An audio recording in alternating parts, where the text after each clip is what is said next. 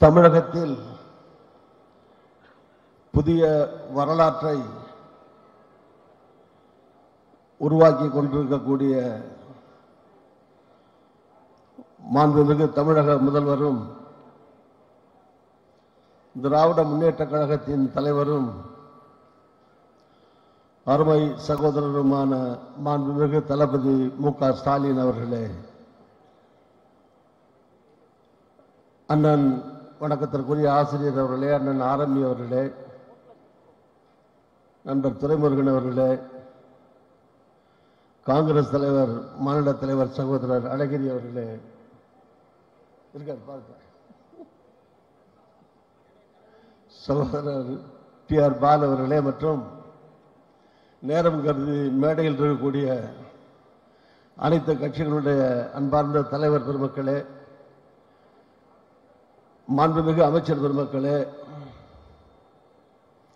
முன்னாள் இந்நாள் நாடாளுமன்ற உறுப்பினர்களே சட்டமன்ற உறுப்பினர்களே வருகின்றிருக்கிற வணக்கத்திற்குரிய பெரியோர்களே தாய்மார்களே நண்பர்களே இந்த இல்லத்தின் தலைவர் அன்பு சகோதரர் மாண்புமிகு அமைச்சர் நேரு அவர்களே மகேஷ் அவர்களே ராஜா அவர்களே நண்பர்களே அனைவருக்கும் வணக்கத்தை தெரிவித்துக் கொள்கிறேன். மணமகன் சிரஞ்சீவி வினீத் நந்தன் எம் எஸ் அவர்களும் சௌபாகியவதி மணமகள் அக்ஷயா கௌசிக் எம்பி அவர்களும் குழந்தை செல்வங்கள் உள்ளிட்ட அனைத்து நற்செல்வங்களையும் பெற்று வாழ்வில் சீரோடும் சிறப்போடும் மகிழ்வோடும் இனிதே வாழ வேண்டும் என்று மனமாற உளமாற வாழ்த்துகிறேன். இந்த திருமணத்தை நடத்தி வைத்திருக்கக்கூடிய கழகத்தினுடைய தலைவர் தமிழகத்தினுடைய முதலமைச்சர் மாண்புமிகு தளபதி ஸ்டாலின் அவர்கள்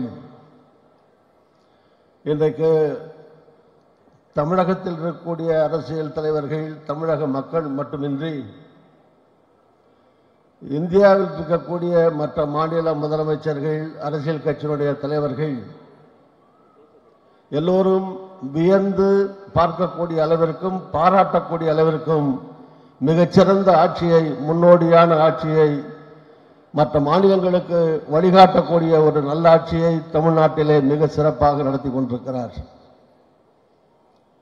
இப்போது தமிழ்நாட்டினுடைய ஒரு பெரிய கட்சியினுடைய தலைவர் தமிழ்நாட்டுடைய முதலமைச்சர் மட்டுமல்ல சகோதரர் ஸ்டாலின் அவர்கள். இந்தியாவில் இருக்கக்கூடிய முன்னணி தலைவர்களிலே ஒருவராக இன்றைக்கு அவர் எழுந்திருக்கிறார் வளர்ச்சி அடைந்திருக்கிறார். இந்தியாவில் இருக்கக்கூடிய மதசார்பற்ற சக்திகளை எல்லாம் ஒருங்கிணைக்கக்கூடிய ஆற்றல் மிக்க தலைவராக இந்திய அளவிலே இன்றைக்கு அவர் உயர்வு பெற்றிருக்கிறார். உடுக்கை இழந்தான் கை போலாங்கே இடுக்கன் களைவதாம் நட்பு என்பது திருக்குறள். சோதனையான காலகட்டங்களிலே காங்கிரசுடைய உற்ற நண்பராக எல்லோரும் சொல்வதற்கு முன்னாலேயே எதிர்காலத்திலேயே தலைவர் ராகுல் காந்தி பிரதமராக வர வேண்டும் என்று குரல் கொடுத்த ஒரே தலைவர் திராவிட முன்னேற்ற கழக தலைவர் அருமை சகோதரர் ஸ்டாலின் அவர்கள். இன்றைக்கும் அன்றுக்குரிய ராகுல் காந்தி அவர்களுக்கு உற்ற சகோதரராக நண்பராக தோழராக துணை நின்று நாட்டில் நல்லாட்சி ஏற்படுத்த எப்போதும் பக்கபலமாக இருக்கக்கூடிய தலைவராக அவர் திகழ்ந்து கொண்டிருக்கிறார். அவருடைய தலைமையிலே இந்த திருமணம் சிறப்பாக நடைபெறுகிறது. அருமைச்சுவர் நேரு அவர்கள் உங்கள் எல்லோருக்கும் தெரியும் நேரு அவரிடத்தில் என்ன பொறுப்பை கொடுத்தாலும் மிக சிறப்பாக செய்யக்கூடிய ஒரு அருமையான அமைச்சர் திராவிட முன்னேற்ற கழகத்தினுடைய பொக்கிஷங்களிலே சகோதரர் நேரு அவர்களும் முக்கியமான ஒருவர். நான் காங்கிரஸ் தலைவராக இருந்தபோது ஒரு முறை அனைத்து கட்சி தலைவருடைய கூட்டம் நடைபெற்றது. அப்போது எதிர்க்கட்சி தலைவராக இருந்த இன்றைய முதலமைச்சர் அந்த கூட்டத்துக்கு தலைமையை நடத்தி கொண்டிருந்தார். இந்த மேடையில் இருக்கிற நாங்கள் எல்லோரும் அங்கே இருக்கிறோம். ஒரு ஆர்ப்பாட்டம் மத்திய அரசை கண்டித்து உடனடியாக நடத்த வேண்டியிருந்தது. ஒரே நாள் இன்றைக்கு கூட்டம் நடக்கிறது. நாளைக்கு அந்த கண்டன ஆர்ப்பாட்டத்தை நடத்த வேண்டும். எங்கே நடத்தலாம் என்று எல்லோரும் பேசிக் கொண்டிருந்த போது அப்போது சகோதரர் ஸ்டாலின் சொன்னார் இந்த வேலையை இன்றைக்கு சொன்னால் நாளைக்கல்ல இன்றைக்கே செய்யந்தாலும் செய்யக்கூடிய ஒரு இருக்கிறார்.